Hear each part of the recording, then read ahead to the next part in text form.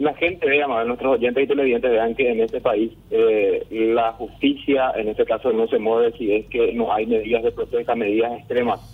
Hace dos días informábamos la manifestación o la medida de protesta que adoptó Mónica Castaña, la madre de Belén Wittenslow, esta joven procesada por la supuesta compra de notas en la Universidad Católica de Asunción y contra la que hay una un pedido de captura internacional incluso. Ella eh, se había manifestado o sigue manifestándose eh, solicitando que la Corte ya estudie esa acción de inconstitucionalidad que se presentó hace tres años y seis meses y después de ese tiempo, finalmente, Mabel, la Sala Constitucional de la Corte Suprema de Justicia acaba de dar trámite a esta acción de inconstitucionalidad para su estudio. ¿Qué es lo que eh, significa esto? La Sala Constitucional dice, aceptamos esto para empezar a analizar lo que plantea la defensa de Belén Whittislow. Esta Qué vergüenza. Y Carlos, ¿cuánto tiempo se tomaron para tomar esta decisión?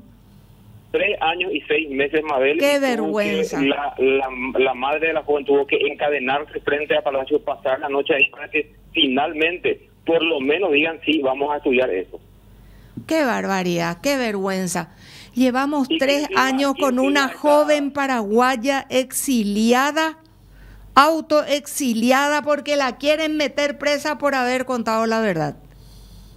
Es así, Mabel, ella, eh, esta, esta resolución de la Sala Constitucional de la Corte Suprema de Justicia firma nada más y nada menos que el ministro Antonio Fretes junto al ministro Víctor Ríos y una camarista, Estela Zárate, son los que firman esta acción, entonces, o sea, la, la decisión de dar trámite a esta acción de inconstitucionalidad y de alguna forma es la primera batalla ganada para la madre de Berlin Wittenslow, porque ella lo que solicitaba con esta medida de protesta es que para hoy o para mañana como máximo ya resuelvan dar trámite a esta acción y que para el mes de marzo como máximo ya resuelvan el fondo de la cuestión. Y es que veremos qué tan dirigentes son después de, años, de tres años y seis meses, más, más vale que resuelvan pronto esto.